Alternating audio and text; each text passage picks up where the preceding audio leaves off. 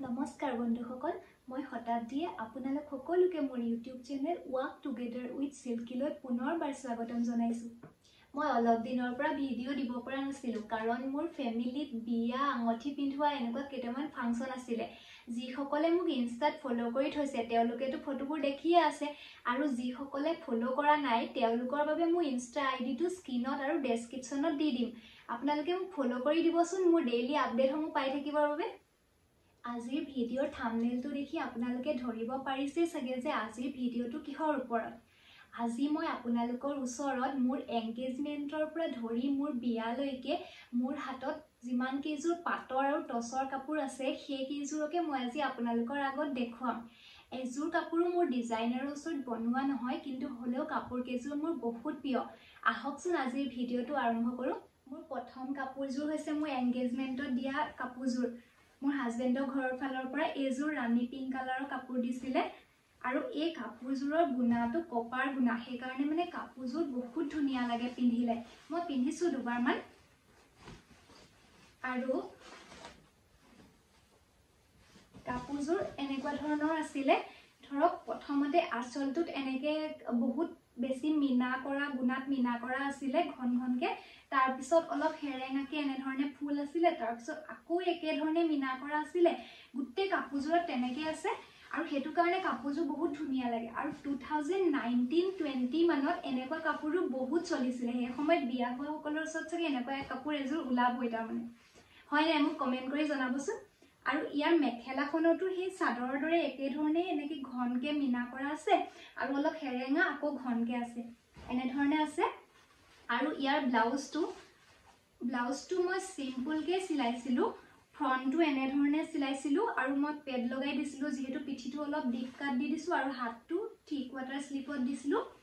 পিঠিটোতো তেনেকৈ অলপ ডিপ কাট দিয়াৰ পিছত মই এনেকৈ কিছুমান দৰি লগাই দিছিলোঁ। সেই সময়ত এনেকুৱা ধৰণৰ চলিছিলে আৰু। সেয়া এযোৰ মোৰ এংগেজমেণ্টৰ কাপোৰযোৰ আছিলে। মোৰ দ্বিতীয় কাপোৰযোৰ হৈছে এইযোৰ যিযোৰ মই মোৰ জোৰোণৰ দিনা ঘৰৰ পৰা পিন্ধি ওলাইছিলোঁ। আৰু সেই এই কাপোৰযোৰো বহুত হেভি আৰু এই কাপোৰযোৰ কিন্তু গল্ডেন গুণাৰ হয়। গোটেই কাপোৰযোৰতে গল্ডেন গুণা আছে আৰু কিছুমান এনেকৈ বগা আৰু বেবী পিংক কালাৰৰ মীনা কৰা আছে। আৰু এইযোৰ ব্লু কালাৰ হয়। একচুৱেলি ইয়াক টাৰ্কুইজ ব্লু বুলি কয় কিন্তু ব্লু ফেমিলিৰে হয়। আৰু এই কাপোৰযোৰ গোটেই কাপোৰযোৰতে এনেধৰণে গুণা ৱৰ্ক আছে আৰু মীনা কৰা আছে। আৰু এই কাপোৰযোৰৰ মেখেলাখনো একেবাৰে ওপৰলৈকে কাপোৰযোৰত গুণা ৱৰ্ক আছে আৰু তাত মীনা কৰা আছে আৰু কাপোৰযোৰ মানে ওলায়ে নাথাকে গোটেই গুণাৰে এনেকৈ ভৰা ধৰণে আছিলে। আৰু এই কাপোৰযোৰ বহুত বেছি প্ৰিয় তাৰমানে। আৰু এইযোৰৰ মই পাটৰ কাপোৰৰ ব্লাউজবোৰ একদম চিম্পুলকৈ ভাল পাওঁ। সেইকাৰণে এইযোৰো মই ফ্ৰণ্টটো এনেকুৱা ধৰণে দিছিলোঁ আৰু ইয়াতো থ্ৰী কোৱাৰ্টাৰ শ্লিভ দিছিলোঁ আৰু গোটেই শ্লিভটোতে এনেধৰণে কাম কৰা আছিলে। পিঠিটোৰো নৰ্মেল যিটো ডিজাইন তেনেধৰণেই দিছিলোঁ আৰু পেড লগাই দিছিলোঁ। মোৰ থাৰ্ড কাপোৰযোৰ হৈছে এইযোৰ। এই কাপোৰযোৰক বহুতে কৈছিলে বিয়াৰ দিনা যে বহুত ইউনিক লাগিছে বুলি। নাজানো কিন্তু কাপোৰযোৰ এটা হয় যে কাপোৰযোৰ মই যেতিয়া মানে মোক দিছিলে এই কাপোৰযোৰ মোৰ হাজবেণ্ডৰ ঘৰৰ ফালৰ পৰা মোক জোৰোণত দিয়া হৈছিলে আৰু কাপোৰযোৰত চিলভাৰ গুণা আছিলে। সেইকাৰণে হয়তো অলপ ইউনিক দেখিছে আৰু ইয়াৰ কালাৰটো দুটা ছেড ওলায় পিংক আৰু পাৰ্পল দুইটাই দেখিবলৈ ধৰিব পৰা যায় কিন্তু কাপোৰযোৰ একচুৱেলি পাৰ্পল ফেমিলিৰে হয় লেভেণ্ডাৰ কালাৰ হয়। আৰু এই কাপোৰযোৰত গোটেইযোৰতে চিলভাৰ গুণা আছে কাপোৰযোৰ বহুত বেছি হেভি নহয় আৰু একেবাৰে লাইটো নহয়। আৰু ইয়াৰ পতিটো অলপ ডাঙৰকৈ আছে। আৰু কাপোৰযোৰৰ মাজে মাজে এনেধৰণে চিলভাৰ গুণাৰ লগত কিছুমান গল্ডেন গুণা ৱৰ্ক আছে আৰু ৰাণী পিংক কালাৰৰো ৱৰ্ক কৰা আছে। এই কাপোৰযোৰত ৰাণী পিংক কালাৰটো হাইলাইট কৰি মই ইয়াৰ দহিবোৰ এনেধৰণে মানে ৰাণী পিংক কালাৰত বনোৱাবলৈ দিছিলোঁ। আৰু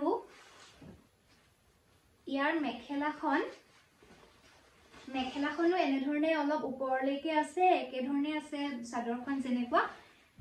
আৰু এই কাপোৰযোৰ মই মোৰ ঘৰৰ ৰিচেপশ্যনত পিন্ধিছিলোঁ কিন্তু কাপোৰযোৰ জোৰোণত দৰা ঘৰৰ পৰা দিয়া হয়। এইযোৰ মই একেবাৰে ব্লাউজটো চিম্পুলকৈ এনেকৈ ফ্ৰণ্টটো এই ধৰণে দিছোঁ আৰু শ্লিভটো থ্ৰী কোৱাৰ্টাৰ দিছোঁ। শ্লিভটোত ইমান বেছি ৱৰ্ক নাই গুণাটোৱে আছে। আৰু বেক চাইডটো এনেকৈ নৰ্মেল চিম্পুলকৈ দিছোঁ আৰু পেড লগাই পেলাই চিলাইছোঁ।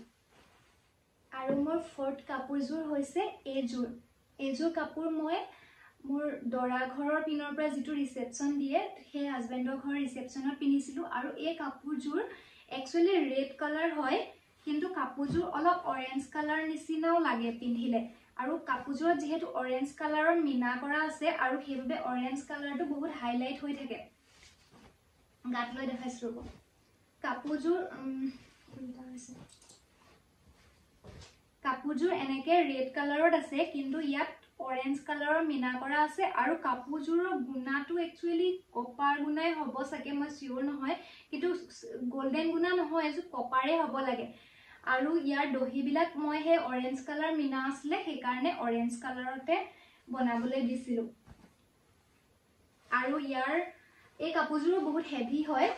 আৰু গধুৰো হয় এই কাপোৰযোৰৰো মেখেলাখন তেনেকৈ চাদৰৰ দৰে গোটেইযোৰ গুণাত আছে আৰু তাত অৰেঞ্জ কালাৰৰ মিনা কৰা আছে।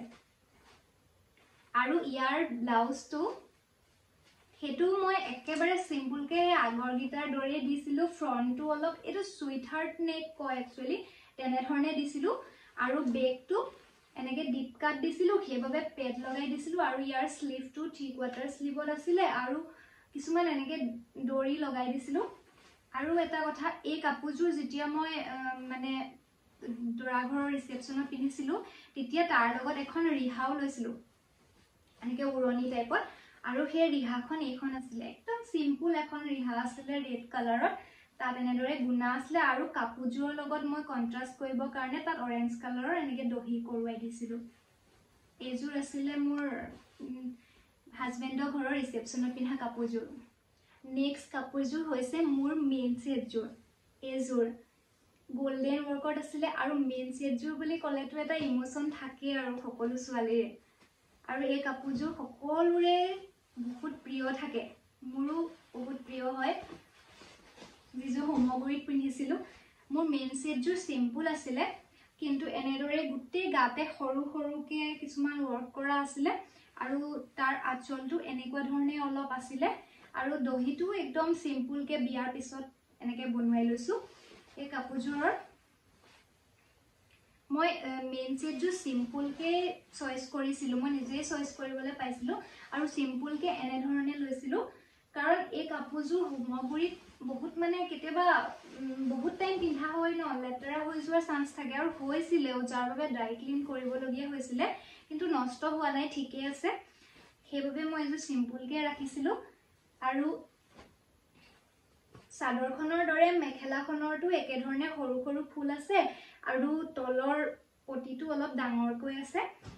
আৰু ইয়াৰ লগত এখন ৰিহা আহে মেইন ছেটৰ লগত একেলগে বনোৱা থাকে। সেই ৰিহাখনো সেই তেনেধৰণে চিম্পুলকৈ মাছটো হোৱাইট আছে আৰু আঁচলটোত এনেকৈ দুই চাইডে ফুল আছে আৰু মই সেইখনতো এনেকৈ দহি বটাই দিছোঁ বেলেগ কাপোৰৰ লগত পিন্ধিব পৰা যাব সেই ৰিহাখন। আৰু ইয়াৰ ব্লাউজটো একেবাৰে চিম্পুলকৈ আছে পেড দিয়া নাই কিন্তু ফ্ৰণ্টটো এনেধৰণে যিটো প্ৰিন্সেছ কাট কয় চাগে তেনেধৰণে দিয়া আছে আৰু ইয়াত থ্ৰী কোৱাৰ্টাৰ শ্লিভ দিয়া আছে। আৰু বেকতো একো ডিজাইন নাই বছ চিম্পুলকৈ এনেকৈ চিলাবলৈ দিছিলোঁ মেইন চিটযোৰৰ ব্লাউজটো আৰু মোৰ ছয় নম্বৰ কাপোৰযোৰ হৈছে এইযোৰ এইযোৰ ডাৰ্ক ব্লু কালাৰৰ কাপোৰ হয় আৰু এই কাপোৰযোৰ মোক জোৰোণত দিয়া নাছিলে। মোৰহে সম্বন্ধীয় বা আৰু ভিনদৈ দিছিলে। তেওঁলোকে বিয়াৰ আগতেই মোক এই কাপোৰযোৰ দিছিলে। আৰু কাপোৰযোৰ ইমান লাইট ৱেইট আৰু পিন্ধিবলৈ মই পিন্ধিছোঁ বহুত ভাল হয়। আৰু কাপোৰযোৰ গোটেই জোৰতে এনেধৰণে এইটো কপাৰ গুণাই হ'ব মে বি কপাৰ গুণা কৰা আছে। আৰু কাপোৰযোৰ একদম চিম্পুলকৈ গোটেই জোৰতে গুণা ৱৰ্ক আছে বেলেগ একো কালাৰ ইউজ কৰা নাই গাত ল'লে এনেধৰণৰ দেখি।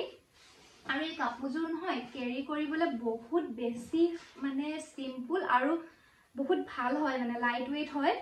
আৰু ইয়াৰ মেখেলাখনো একদম এনেকৈ চিম্পুলকৈ আছে বহুত মৰম লাগে মানে কাপোৰযোৰ দেখিবলৈ।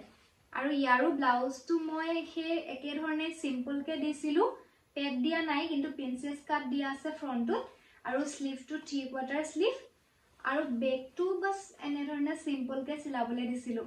এই কাপোৰযোৰ বহুত মৰম লাগে আৰু পিন্ধিলেও বহুত ধুনীয়া লাগে মানে মানুহক এই কালাৰটোৱে মোৰ সাত নম্বৰ কাপোৰযোৰ পাটৰ নহয় এযোৰ টচৰ হয় আৰু এই কাপোৰযোৰ মোক জোৰোণত দিছিলে। কাপোৰযোৰত গোটেই কাপোৰযোৰতে এনেধৰণে ৰঙা সূতাৰ কাম কৰা আছে। আৰু গোটেই গাটোতে এনেকে সৰু সৰুকে কিছুমান এইটো কি ডিজাইন কৰা নাজানো কিন্তু এনেকে সৰু সৰুকে কিছুমান ডিজাইন কৰা আছে। আৰু ইয়াৰ আঁচলটোত এনেকে অলপ ঘনকে কৰা আছে।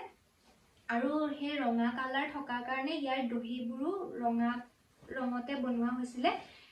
আৰু কাপোৰযোৰত এনেধৰণে গোটেই মাছটোতে মানে সৰু সৰুকে কাম কৰা আছে। আৰু ইয়াৰ পতিটো একেবাৰে চিম্পুলকে সৰুকে লগোৱা আছে।